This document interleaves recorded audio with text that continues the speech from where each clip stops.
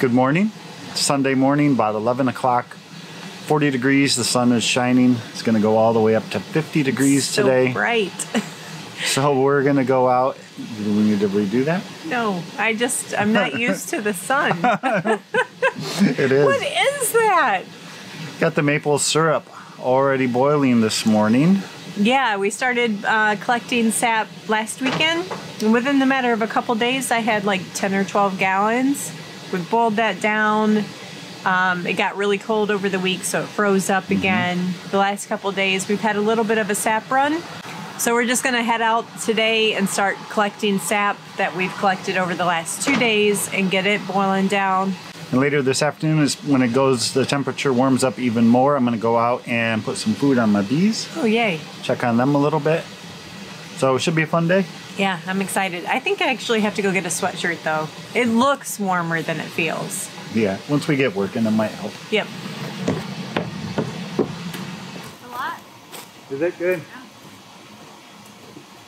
I hope he's recording this.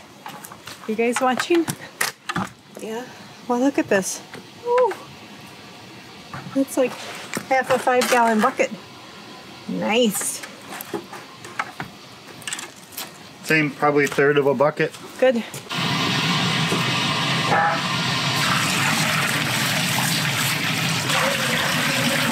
This one's from the side yard over there. This is walnut. We're not keeping them separate. We're just mixing them all together. Maple, walnut, and box elder. So, um, I opened this bucket and I don't have anything coming out of it at all. I never have. And I can tell I tapped it before. Todd doesn't think it's a walnut, which is always hard to tell this time of the year. I thought these were all walnuts. I'm gonna go tap one back there instead. Um, it might be an elm, I guess, because that's the only other thing I could think it would be. Nice, that one is definitely running. Whew. Get them all cleaned out. Can you see that, Chad? Mm, Drip, drip, drip, drip, pouring. Just want to clean out to the hole so you can, your tap doesn't get clogged up. Okay. I think I can fit, this is a really big tree. I think I can fit several taps in him. Rachel's gonna go get another tap for that one so she can double tap it. I'm gonna go back there is where the box elder ones are. We'll go get those ones collected and bring those ones up and dump them ones in the cooker while she's doing that.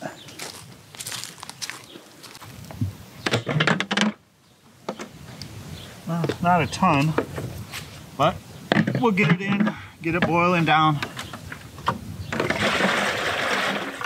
So one of the things about this syrup, when it's raw like this, when it comes straight out of the tree, you have to do a couple things with it. If you just let this sit here, within a week, it's gonna have mold in it and it's gonna go rancid.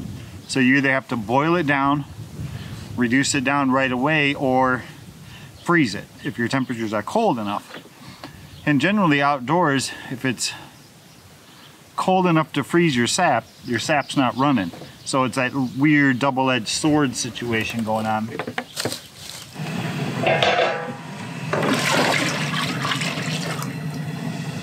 Box elder.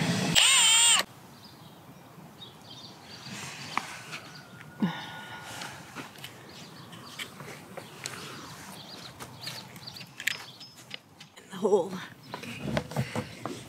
Alrighty. That's exciting. This one's good. I don't have any more buckets though. So let's go check those elder trees now and see how they're doing. I already went and checked them. Oh, did you get get Yeah. sap? Yeah, I harvested it already, put it in the oh, pot. Oh, okay, cool. They were like, they had like five inches probably in each. Oh, nice. That's probably about what? A gallon and a half? Those are five Yeah, our buckets? cooker is pretty full. Good. What next? Uh, I was thinking chickens. Oh, okay.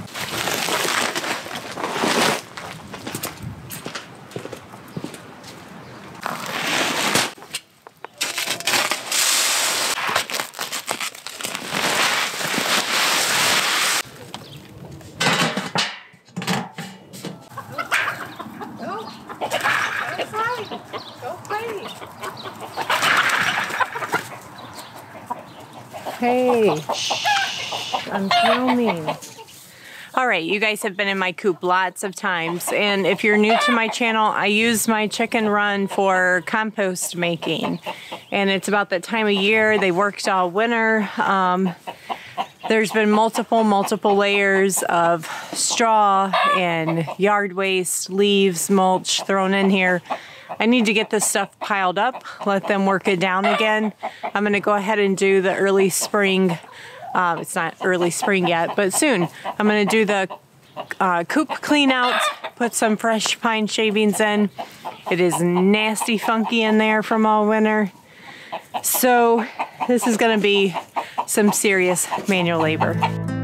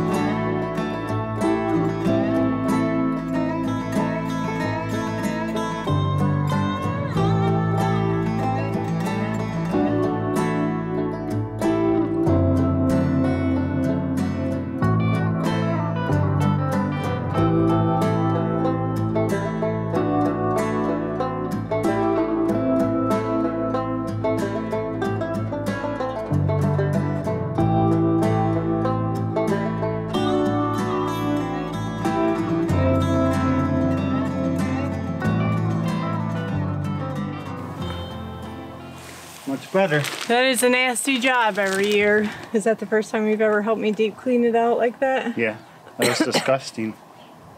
Whoo! Nasty. I even had to get one of my coronavirus masks out.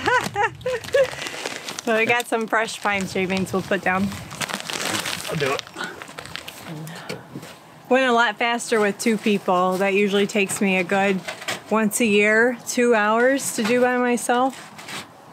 And you know, to stack, clean it out, stack the mulch pile. So, thank you, thank you. Just needs to be spread. Yay! Happy birds.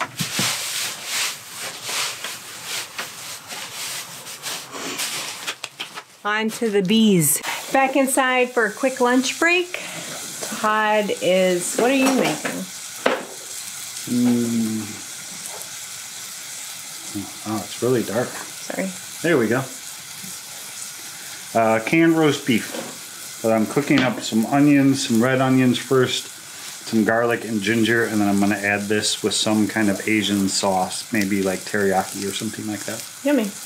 And I am making up some homemade chicken salad with the canned chicken that I canned last Friday. But at first I have to make some mayonnaise.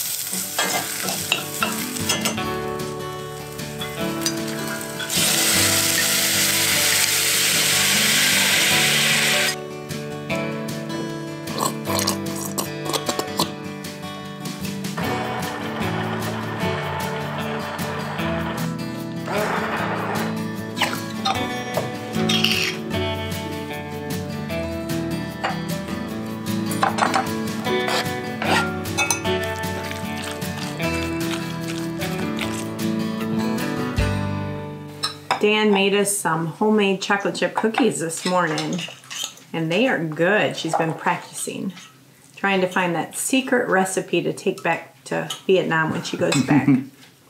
She's been having fun. She's got a big, giant list of all these things she wants to make before she leaves. Your chicken salad turned looks like it turned out good. Mm-hmm. My roast beef is good. yeah? Hoisin sauce. Oh, yeah? And you put, I saw you put ginger in it. Yeah. Homemade bread. Almost everything's homemade except apples. Haven't grown any apples yet. Hopefully this year. Yeah. Something exciting. If you guys Food in your beard. You put it back in my dish? Nerd. Something exciting happened this weekend. If you didn't catch it on our Instagram or our Facebook page, Mm, yeah, tell them about it. we're good. Why? You're just talking about the food? on our YouTube uh, channel, hit two, 20,000 subscribers this weekend. Thank you guys. That's so awesome. Thank you, thank you for all your support, your comments, all the thumbs up you guys give us, the encouraging words, and especially those of you who share our videos. That's like the biggest, the biggest gift that you can Mhm. give to a YouTuber as far as support goes is to share their videos Yeah. on your own Facebook page, on Facebook groups. That way, it's not coming from us; it's coming from somebody else. Mm-hmm. Shares it. That's like the biggest gift that you can give to somebody. So thank you.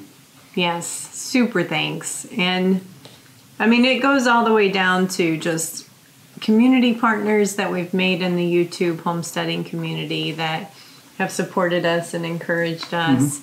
We've made so many wonderful friends through just um, our viewers commenting, and we feel like we have this like extended family. We had an internal joke between us because we're both introverts. We'd say, We're going to throw a big party and invite all of our friends. we have like five friends between the two of us. And so now we have this really awesome extended friend group. And we love having you guys here with us. It's always crooked. Signs of life at the bees. Heck yeah. Hive number three, the smallest one, the weakest one, the one that I thought was going to be Toast, really. toast. Yeah. not survive, has the most bees flying around it. Yeah, it's so bizarre. Hive 2, I mean, our original Hive, Hive 1, the strongest one going into winter, I'm not seeing anything. Yeah. But we're going to pop these. Um, I'll start down here at the end at hive, the one of the strong hives, hive number three. And we're just going to basically check for food today and put on some pollen patty for them and see if there's bees there. So this here's hive two. This is one of the strongest hives that I had. It was one of the heaviest going into winter and it's still quite, quite heavy. But I don't see any live bees.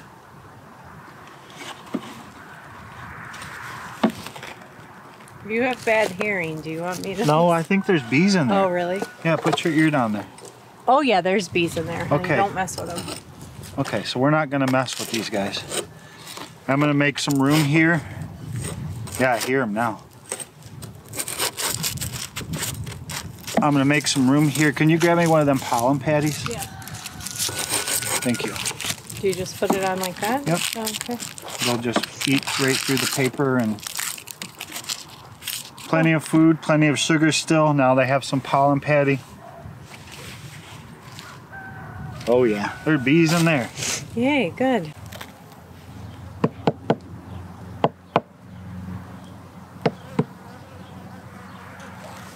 I'm not hearing much here. Much or nothing? Oh, I think nothing. Yeah, I don't hear anything. So yeah, that's one thing that I got to be careful of. Even though it's 50 degrees today, It's th- 30 next week. it's still February. Yeah. So we need to protect them accordingly. As much as I want to crack the seal and pull this top box off and check the bottom box, I'm not going to do it. 'Cause if there are bees in there, I'm going to break the seal on it and Right. Then they're going to have to reseal it and that's extra work and extra effort and extra energy. So we'll call this one a mystery still. By far the most active hive number three, which was my weakest hive. It was a, basically a single deep going into winter. And they seem very happy. That is a ton of bees. Yeah. Very happy, very active. Chowing down.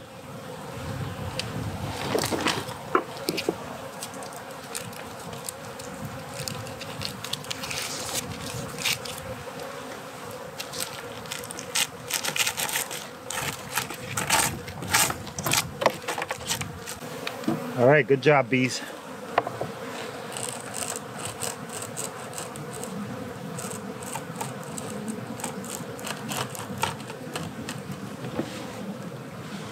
Okay. Square up up front a little bit.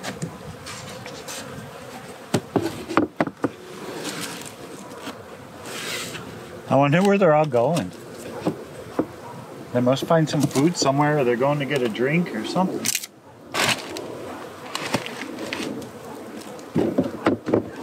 So that's pretty promising and encouraging. Heck yeah. Although, my very first year of beekeeping, I was in the exact same boat. We had two hives. It was the end of February. I checked them. All the bees were there. They were all happy. And I went back two weeks later and they were gone. So Yeah. we'll keep being gentle with them, keep babying them. And uh, He was thinking maybe go ahead and put out a feeder uh, of the sugar water, right? yeah, maybe on warm days, like today, maybe a small one. That way, when it gets cold and gets freezing, I can put it back away. I don't know. Yeah. What are you guys' thoughts if you're uh is it too early to feed liquid food to the bees? Or do we need to wait for spring to really be here for real? Well, can you remember what they said last time when it was like the end of February, early March, and why? Because you had done the same thing. We checked, we made sure they had sugar. if I knew the answer, we wouldn't make that mistake again. Maybe we need to go back and watch that video and read all the comments and see if there was a golden nugget in there. yeah, well, we took honey from them. Oh, yeah. We took honey from them and they starved. Oh. It just feels weird. Okay, well, wish us luck because I really want honey this year. I mean, most importantly, I want my bees to survive, but we have them here on the property um, for honey too. So hopefully we can get some honey. Boots on, we still haven't caught our chicken, our rooster. When we were cleaning out the coop, our rooster escaped and he's out there somewhere. I warned my neighbors and told them that, hey, if you see a rooster in your yard, it's ours. We can't catch him. We haven't figured out a way yet, so. Yeah, he's really skittish.